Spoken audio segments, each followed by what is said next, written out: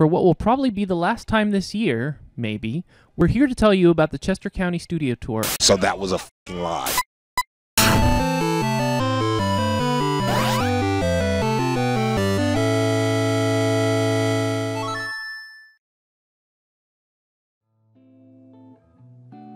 So, what do you want to start with? How about we did it? We did it. We successfully got through the studio tour. It went really well. Yeah, it was technically my first one in person. You remoted in last time. Yeah, I was streaming because of the pandemic. This year we were both vaccinated, so I was able to be there in person, which was nice. I guess this was a bit closer to the traditional studio tour experience. Last year was kind of an exception in any number of ways, whereas this year things are kind of starting to get back a little bit normal ish. I took the whole week off of work to prepare for this. And I think as a result of that, I probably did a little bit more procrastinating than I think I normally would have, knowing that I had the whole week to get all this stuff done, and found out very early in the week that that was probably not the best choice because we ended up pretty much down to the wire on almost everything that we wanted to do. And in fact, we ended up having to abandon one or two of our smaller projects that we didn't get to. Ah, but that gives us more to do for the next one. The second lithophane, which there were supposed to be three of them, but we only ended up doing two. The second lithophane did not get finished until the morning of. And I snapped a couple pictures basically before people started coming through the door. so we had a lot of other products that we wanted to display. I had made a bunch of jewelry pieces out of epoxy resin, and then the light switch plates were sort of an extension of that. We needed plates for some light switches that Jeremy installed around the house, so I made some light switch plates for Jeremy, and he was like, You need to make more of these so we can sell them at the studio door. I was like, Okay. So I made some more light switch plates in a standard size, 3D printed them, and filled them with resin and various decorations. And then we had our stickers, some more prints, and then the lithophanes. So we needed a place to display all of that. I'm a big believer in upcycling. So I'm constantly saving things that most normal people would probably just throw away. I wouldn't throw it away. You actually hold on to literal garbage, like Look at stuff that can't be used. Really? I'm exaggerating a little bit. You're not really exaggerating that much. I actually did do that. Anyway, we keep our garbage very well organized. oh, you Um, do? Okay, I keep my garbage very well organized, so it doesn't look like garbage. It just looks like a stockpile of potentially very useful materials. Among the materials that I've collected were a whole bunch of metal panels that were part of some cubicle furniture that my company got rid of because they replaced all of the office furniture and they took the old stuff and they were going to throw it in the garbage. They asked me if I wanted it, and I said, yes, I'll take all of it. They wanted to use the panels to make shelving. I also had this little pop-up Entenmann's display rack that I took home from Wawa like 15 years ago. Mhm. The vendor just left it there and they were going to throw it in the garbage and that was another one where I was just like, no, I'm going to take that home. I ended up using one of the panels to basically turn that little stand into like a proper table. And then I came up with the idea of putting lights on it. The lights were also connected to an outlet box on the shelf so that whatever I plugged it into gave me the lights and then three extra outlets, which was important because this was the shelf that was going to be displaying our lithophanes and our lithophanes both needed to plug into something. We ended up adding two lights on the top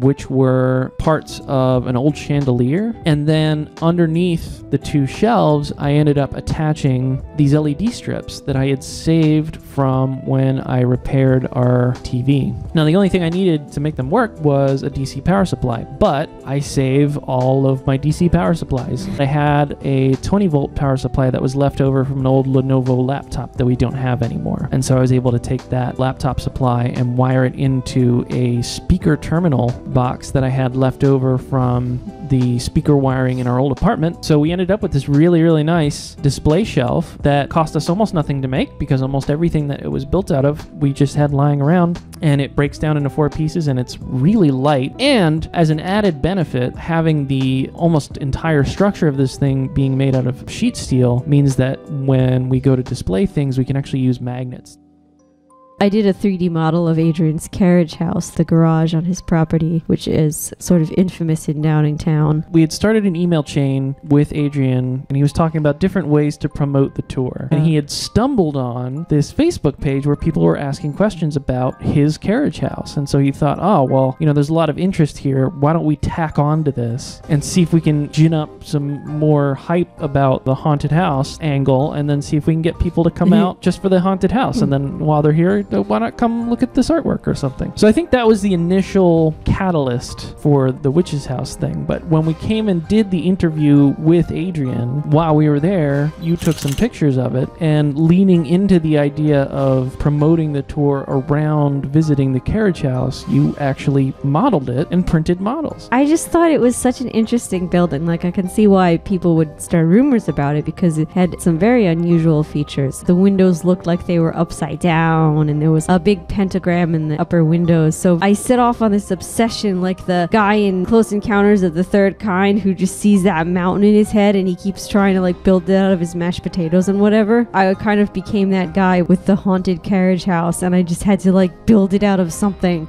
so I, I had taken all these pictures, so I used them as a reference just sort of eyeballed it and made a model in Blender. And I printed a few of those to sell as souvenirs. We actually brought Gertrude to the studio tour and had her printing a model. Setting up the 3D printer actually ended up being a really cool way of getting people's attention. Most of the people that came into the room where we were set up at Adrian's place, that drew their eye almost immediately. Yeah, almost And everyone had questions about the 3D printer. Is that a 3D printer? What is that? What is it doing? What are you making? How does it work? Is it magic? Is it witchcraft? I thought- I got to info dump about 3D printing, which was I always want to info dump about 3D printing. Sorry, Oh, I know you enjoyed that. And while we're talking about our setup, I feel like we couldn't have gotten luckier in terms of, well, first of all, getting paired with Adrian and Gwenn, who we absolutely adore. And we got to talk to them both this year and learn so much more about them and their artwork. But then on top of that, Adrian's house is just kind of a work of art all by itself. Which is what Uh, some of the guests actually said. He also, I think,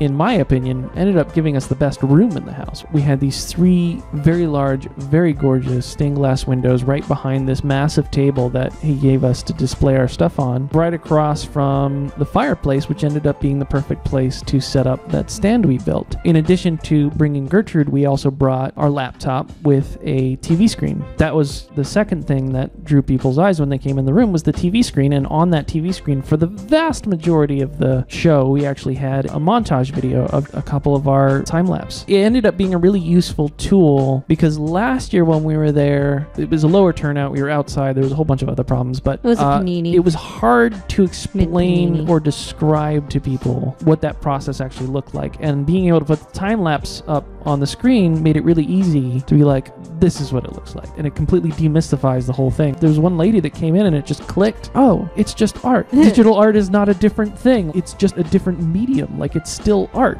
Like, aha, you're just drawing. It's great to be able to bring that to people and, like you said, demystify some of these things. Like digital art or 3D printing or any kind of new emerging technology that we use to create things. I love sharing that with people, maybe getting them interested in knowing more about it because then I'll have more people to talk about 3D printing with. What- Please talk to me about 3D printing. This year was a much better experience than last year for all the reasons that you would expect. We had a little bit more experience. The show itself was a lot less restricted. The weather was nicer. For so many reasons, it was just a much better experience this year. We're really excited to do it again next year. And definitely excited to keep working with Gwenn and Adrian and everybody too. And of course, huge, gigantic thanks to Adrian and his entire family who were Absolutely wonderful. just the best hosts and super generous. My favorite part about the whole tour was Saturday night, the end of the first day, after everybody else had left. Adrian, Gwenn, Adrian's family, Aaron, and I just hung out for like two hours. We were there from six to eight, just hanging out and having a good time and talking about all sorts of things. And that was, I think, the thing that was missing from last year because last year, at the end of the day, we had to break everything down before we left. And by the time we were done with that, we were like so exhausted that we just kind of went home. But this year, we were able to hang around and getting to have all those great conversations that we had. That's something that I'm really, really grateful for. And I'm glad that got to be a part of the experience this year. Talking to people has been really inspiring. So I certainly feel motivated to keep working on stuff. I'd like to keep up that momentum because I have a lot of ideas for stuff that I want to do next, and I'm sure Jeremy does too. So don't touch that dial.